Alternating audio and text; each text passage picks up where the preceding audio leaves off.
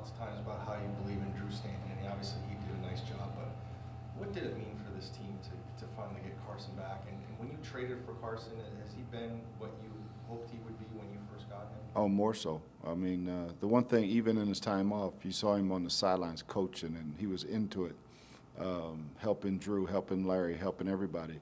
And, um, you know, that's the type of leadership. I mean, you, you don't get 50 some votes for captain unless you're doing something right. And it was like a landslide offensively for him. And, uh, that, you know, that's, that's the things that I look at when, you, when you're evaluating him. His place for, speaks for itself right now, you know. Um, he's playing extremely well. And, uh, like I said, the leadership part, you never know what you're getting.